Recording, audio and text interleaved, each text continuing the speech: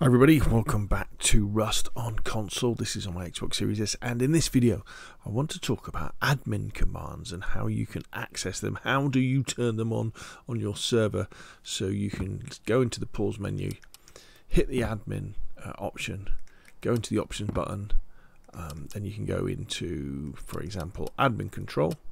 You can give yourself God mode, um, you can vanish, um, you can uh, spawn items into the world to yourself or to people on the server. Um, you can also uh, open up the uh, command list panel. Um, um, probably you know the most exciting thing on this one is you have things like the debug camera, where we can execute that command, and then we can fly around the server uh, to our heart's content. And even actually, what we can also do is if we have access to admin commands, we can come out of here. Let's go back into this bit, open command list panel. Let's turn off uh, camera debug. When you go into your map, you can also teleport around the map as well.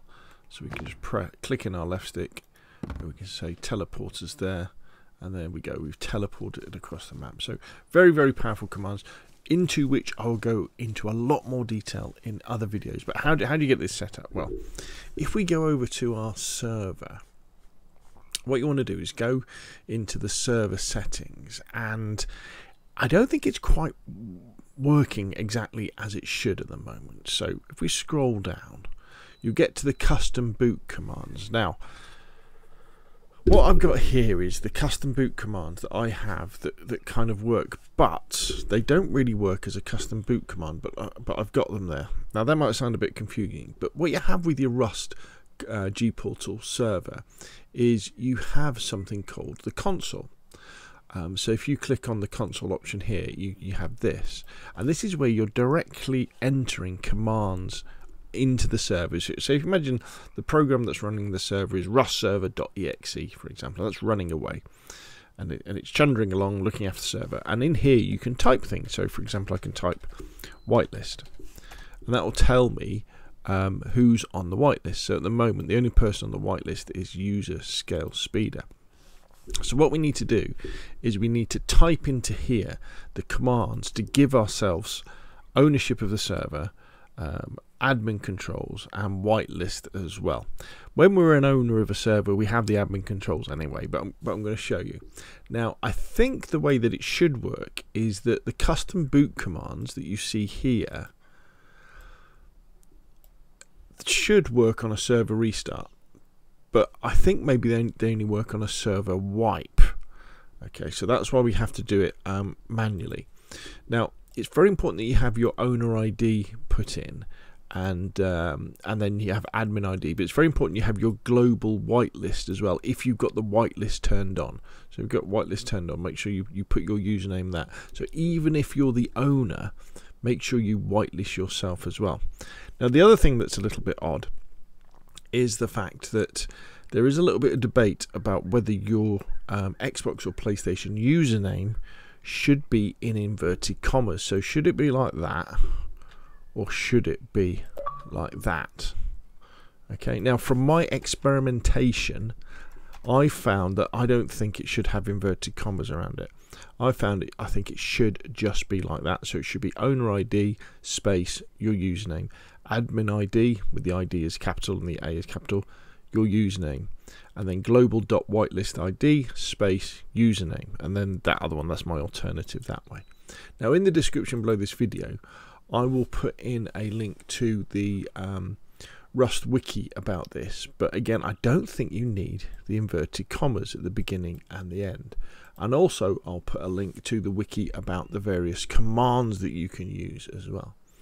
So, what you want to do, and in the link below this, in the description below this video, I'll um, have these uh, commands there. So, let's just scroll up here.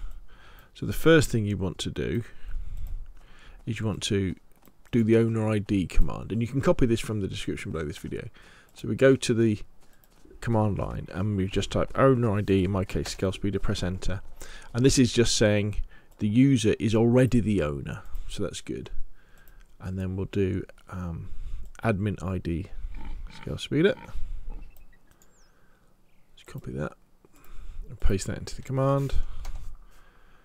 Uh, added Scalespeeder to admin. And then if I do global.whitelist ID Scalespeeder, it will probably say I'm already on the list. Uh, added scale speed to whitelist. Okay, and then so let's add my alternative Xbox account as well.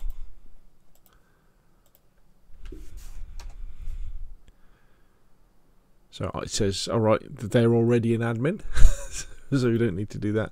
And how about the global whitelist? There we go. Let's paste that into there. Now this is live as well. So if you were to remove someone, so you can use the command, see if we got it here, um, global dot remove whitelist and then their username. They will get kicked from the server pretty much straight away, I think.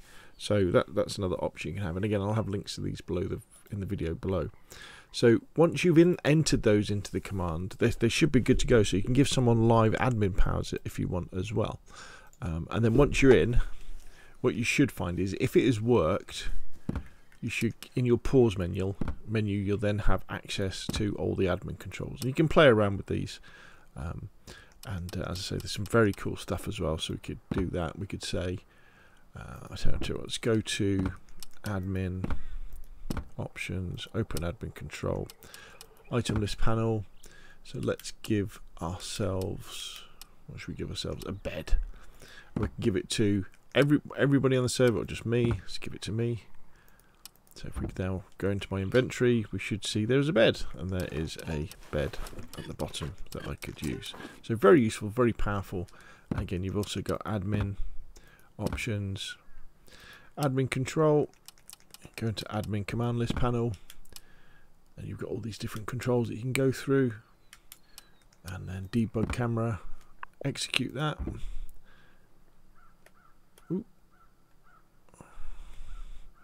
Now we can fly around. I'm a camera invert person, so it's always a bit weird for me getting used to it. But there we go. How fantastic is that? Absolutely brilliant. Well done, Facepunch. Well done, GPortal. I know it's a little bit rough at the moment with the way things are happening, but this does seem to be very useful, and it's going to be very, very useful on live servers as well. So hopefully this video has been useful. See the description below this video for the, the relevant links. And if you found it useful, hit like if you want to see more the same, press subscribe, and I'll see you again soon.